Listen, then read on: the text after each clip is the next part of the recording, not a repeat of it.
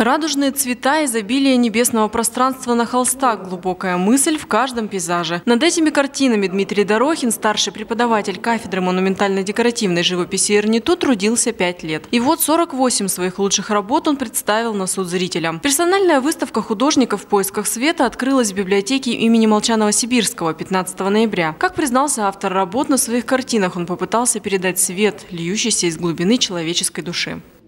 Э, я сформулировал э, таким образом. Мир – это океан энергии. Человек – излучатель мыслей и чувств. Под покровами очевидности существует светоносная действительность.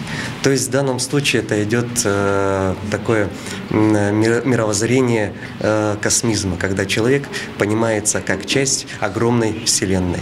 И в этих работах вы обратите внимание, что э, пространству неба отдана наибольшая часть картины, а Земля горы, они идут как бы такой полосой и лишь только аккомпанируют э, тому пространству и космосу.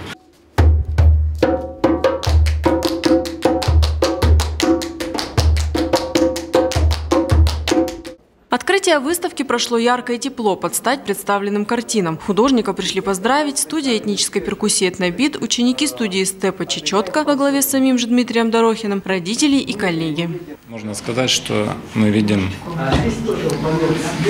э, в творчестве молодого художника, который э, уже даже, даже не уже, а еще начиная свой путь творческий, да, а, нашел какой-то свой собственный авторский язык, а, свои живописные ходы, свои пластические ходы, а, свою философию, свою тему в живописи. В библиотеке для всех желающих открыта еще одна выставка фьюзинга и эмали. Над этими работами также трудились студенты и преподаватели технического университета. Экспозиция насчитывает около 40 работ. Обе выставки продлятся до конца ноября, помогая областной библиотеке создать особое настроение у читателей, особую атмосферу и особое отношение к отечественной культуре.